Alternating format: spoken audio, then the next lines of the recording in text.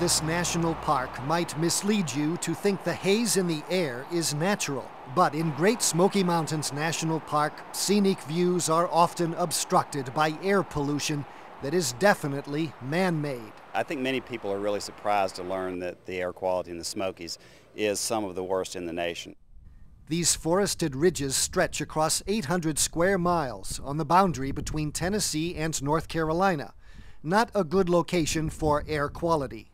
We recognize that because of an accident of geography and topography, actually our air quality here is worse than it is in Knoxville or, or, or Nashville. That's because these mountains are an obstacle to wind currents.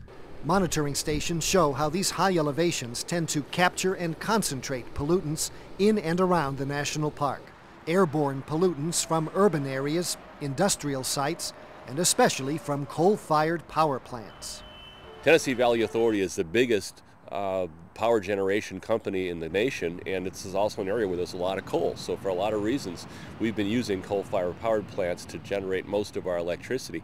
The result is a smoggy haze obstructing the views, air that is poisoned with high levels of sulfates and nitrogen oxides that produce ozone. And then there's acid rain. They have measured rainfall uh, on top of Clingman's Dome uh, at a level of acidity pretty close to vinegar. Besides the health hazard to park visitors, especially older people and children with respiratory problems, the air pollution here is damaging to plants and animals, affecting chemical balance in soils and streams. But there is some good news. Over the last very few years, we've actually begun to see that the Clean Air Act is working.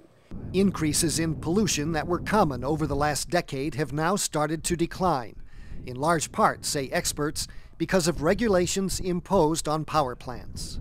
They have made huge, huge strides in cleaning up their emissions, like 90% in sulfates and probably 75% in the nitrogen oxides have been reduced just in the last few years. Good progress, they say, but still not enough. The bad news is we still have a long way to go before we actually get to clean air.